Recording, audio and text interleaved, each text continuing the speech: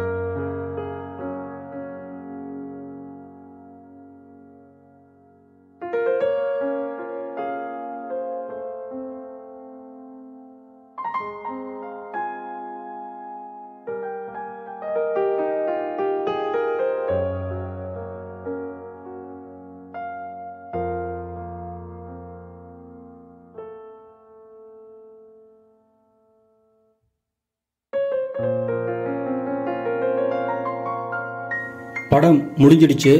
படத்தோட மொத்த டியூரேஷன் நூற்றி பதினேழு நிமிஷம் முப்பத்தஞ்சு செகண்டு அதாவது ஒரு மணி நேரம் ஐம்பத்தேழு நிமிஷம் முப்பத்தஞ்சு செகண்டு படம். ரெண்டு மணி நேரத்துக்கும் குறைவான படம்.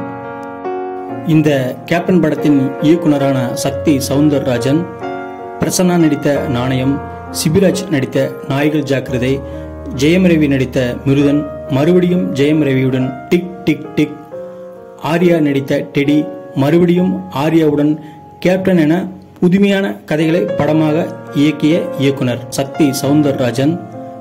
இந்த கேப்டன் படம் இராணுவ வீரரின் வழியையும் அதிலுள்ள அரசியலையும் வியாபாரத்தையும் சொல்லிய படம்.